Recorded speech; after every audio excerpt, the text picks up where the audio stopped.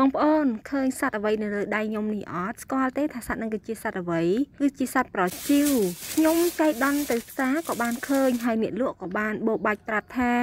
សត្វប្រជៀវនេះគឺឆ្ងាញ់អីអីចឹងណាចាអញ្ចេះមួយអញ្ចោះពីរខ្ញុំក៏មិនអស់ចិត្តក៏សាកទិញយកមកចំនួន10ក្បាលហើយឥឡូវនេះក៏ចាប់ផ្ដើមធ្វើតាមសម្ដីអ្នកលក់ដែលគាត់បានប្រាប់ចឹងណា មុនដំបូងខ្ញុំបានយកទៅស្រោះទឹកក្តៅបន្តិចហើយបន្ទាប់មកនេះខ្ញុំចាប់ផ្ដើមបោចជាមួយនឹងរោមចេញហើយនឹងយកគ្រឿងក្នុងរបស់សត្វនឹងចេញហើយនឹងកលៀនរបស់សត្វនឹងចេញដែរហើយនឹងមានអាស្អីគេដូចជាទូចទូចនៅជៀនភៀកនឹងគឺយកចេញឲ្យអស់ជាវាវាធ្វើឲ្យឆ្អេះចឹងណា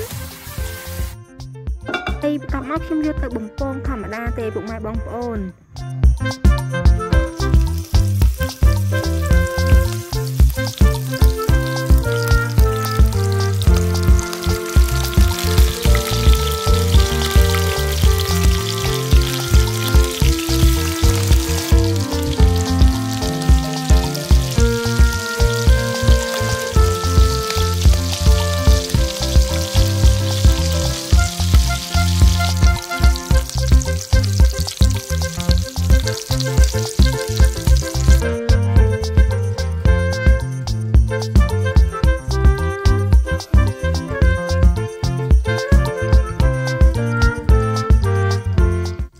ខ្ញុំបានលាយជាមួយនឹងទឹកម្រេចដែលទឹកម្រេចនេះគឺមានជាមួយនឹងម្រេច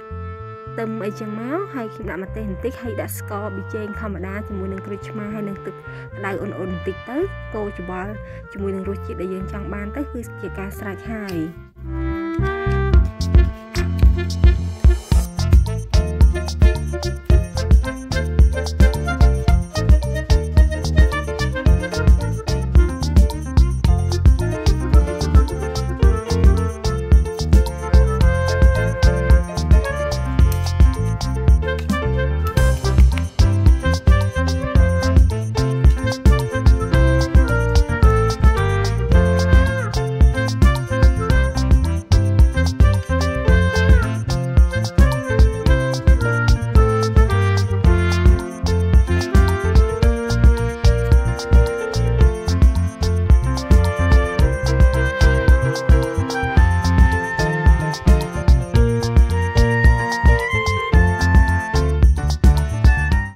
ពុកម៉ែបងប្អូនអើយតំណងដែរស្រួយស្រួយហើយមើលទៅតំណងម្យ៉ាងនេះមើលទៅដូចជាចង់លេបទឹកមាត់ដែរប៉ុន្តែអញញើតអត់ហ៊ានញ៉ាំព្រោះអត់ដែរញ៉ាំអញ្ចឹងមានតែបកគលឲ្យអ្នកខ្លែមញ៉ាំជំនួស